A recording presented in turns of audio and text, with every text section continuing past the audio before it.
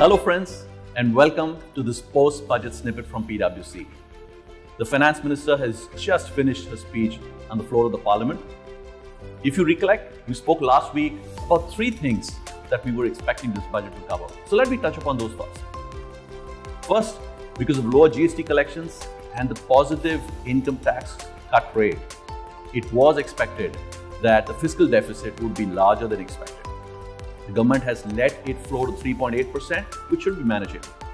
Second, we spoke about the potential income tax dispute resolution scheme that is proposed with a slight difference that it involves payment of 100% of the tax amount as opposed to the 60 or 70% tax payment under the indirect tax litigation scheme.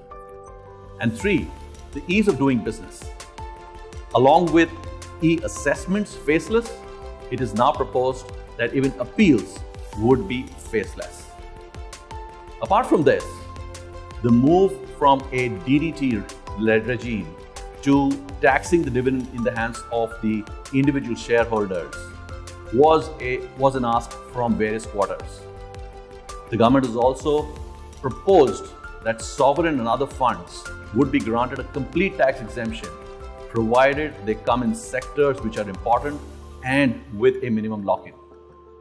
All of this is pretty interesting. So stay tuned. We'll be here with more. Thank you.